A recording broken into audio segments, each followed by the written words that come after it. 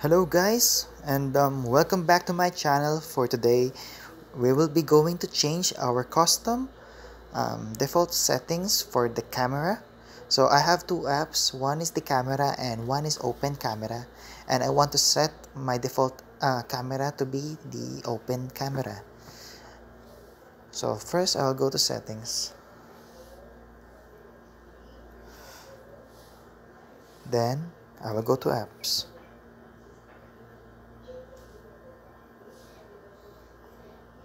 either I search my camera or choose from the apps. Next, I have two cameras right over here. I'll reset back. I will clear the defaults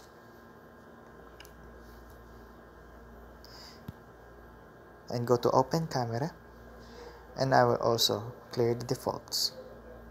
That's already cleared. Okay so the next time that I will use a, an app that will require a camera I will be able to set open camera as my default. So thank you guys for watching and have a great day